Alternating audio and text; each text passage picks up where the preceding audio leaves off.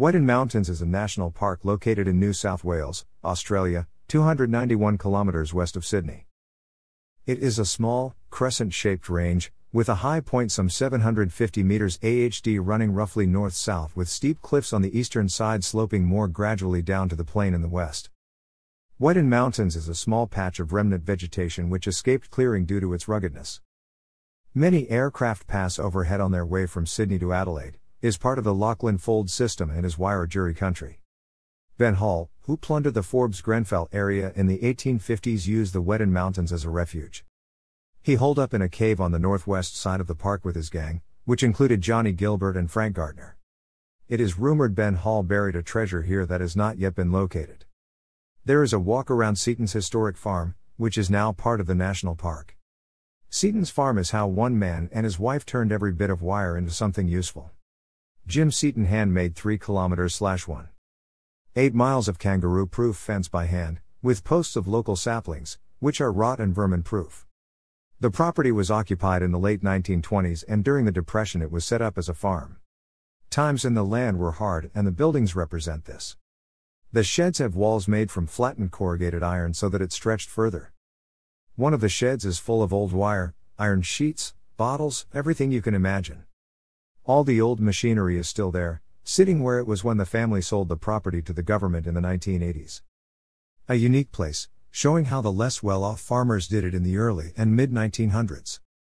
There are 216 species of animals recorded in Weddin Mountains National Park, the vast majority of which are birds.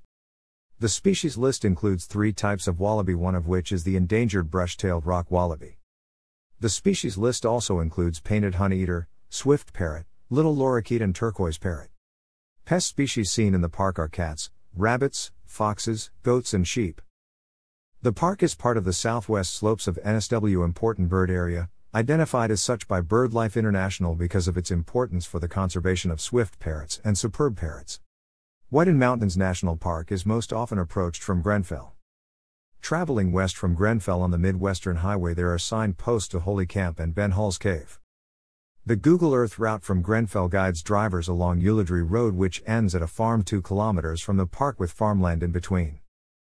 Near Seaton's farm is Ben Hall's camping and picnic area with well-designed fireplace slash barbecues, large enough to permit the use of camp ovens, your own barbecue or for an open fire as well as having its own barbecue plate.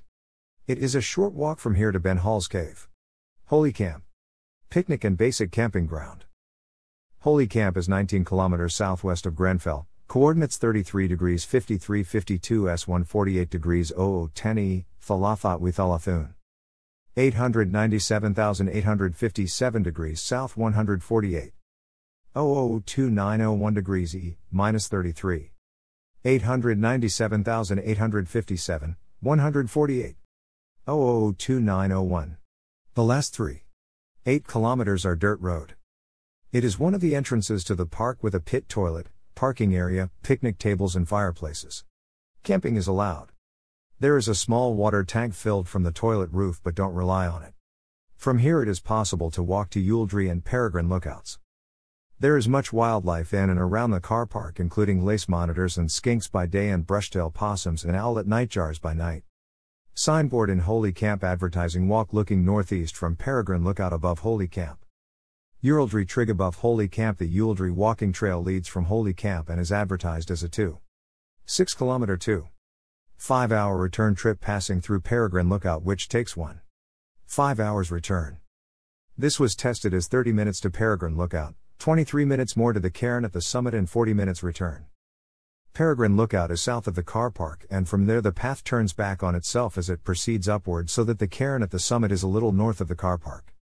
The path appears to continue past the cairn at Eualdrie Trig and can be followed down to Ben Hall's Cave.